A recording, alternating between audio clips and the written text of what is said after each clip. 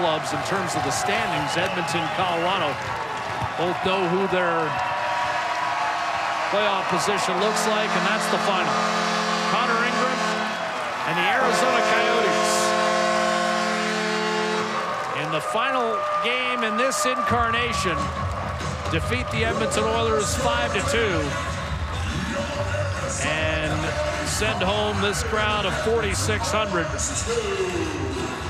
A mostly happy one. And we noticed that, Louie, more Coyotes Yes. fans in the building tonight than in Edmonton's previous two trips here, where I would suggest to you it was between 70 and 80% Oiler fans. I think this time, obviously, people knowing this is the last game in Arizona wanted to come out and show their support, and they did. A lot of people standing up right now, clapping their hands, saying thank you very much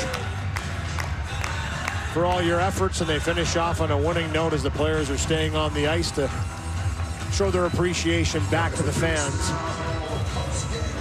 In the final game at Mullett, Arena, yeah, a lot of people in the stands don't really want to get out of here and see this go away. First ever win for the Coyotes. Mike Gartner opened the scoring for Arizona in a 5-2 victory over the Boston Bruins.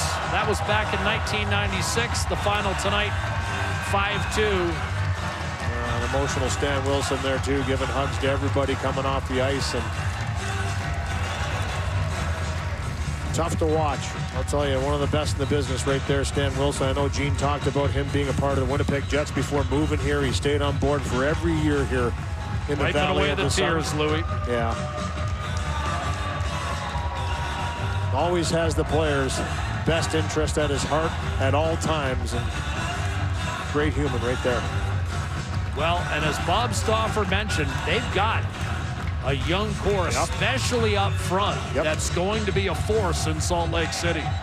I agree. And we talked about the goal scoring. Again, that's the seventh time the last 11, four or more goals for this Coyotes team.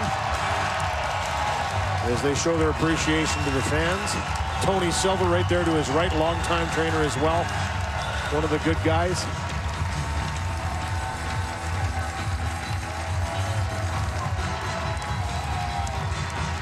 That look says it all right there. But they give him a win in the last game, which was kind of fitting, wasn't it, partner? I know Edmonton made it close. They pushed all the way to the end, but they found a way to win this one and give these people a little bit of closure on the final night. Arizona 5, Edmonton 2. That's your final. Foegele and Carrick, the only men to beat Connor Ingram tonight. And the Coyotes proved a tall order for the Oilers all season long. They'll win the series, season series, that is, two games to one.